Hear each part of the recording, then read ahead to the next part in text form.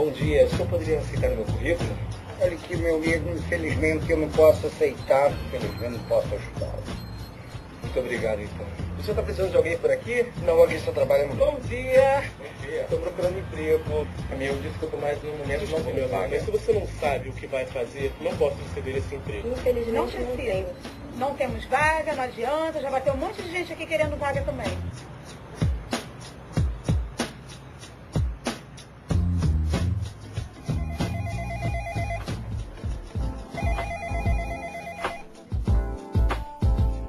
Tô cansado, com fome, mas não custa nada tentar.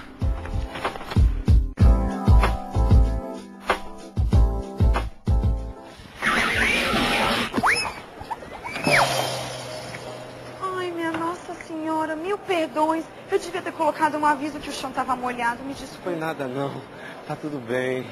Eu posso te ajudar em alguma coisa? Ah, sim, eu tô procurando emprego. É, sabe se estão precisando de alguém por aqui? Olha, trabalho aqui é que não falta, viu? Mas eu acho difícil você conseguir alguma coisa. É que o dono do hotel manda o gerente entregar um bando de gente.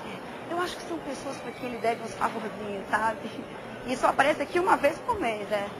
No dia do salário. Mas, ó, é, deixa seu currículo aí. Eu peço para senhoras dar uma olhadinha. Tô pegando qualquer coisa, sou pau pra toda obra. Ah, tá. Deixa eu dar uma olhada, vai. Fausto Silveira, fala espanhol. Hum, eu adoro línguas. Tu era motoboy? Tu entregava pizza? Mora em São João do Meriti? Tá bom, tá bom. Deixa aqui mesmo que eu peço pra ele dar uma olhada, tá? Ai, minha Nossa Senhora, que hoje não é mesmo meu Esse dia. que eu pego. Ai, ai céus. Dulcinea, me traz esse currículo que está em cima do balcão. Currículo? É, Dulcinea, eu deixei em cima, cadê? O currículo. Ah, claro, seu Eduardo, o currículo tá aí. Fausto Silveira. Sou eu, senhor. Mas-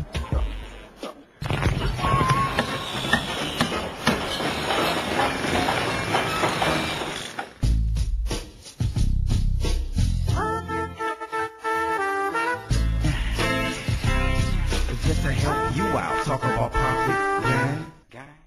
Mas, mas se vo... Se eu... É ele mesmo, seu senhor. Eu próprio. Ah, Sou pau pra toda obra, faço de tudo de tudo. hum, o senhor mexe com línguas. Sabe aparafusar, martelar, mexe com fiação.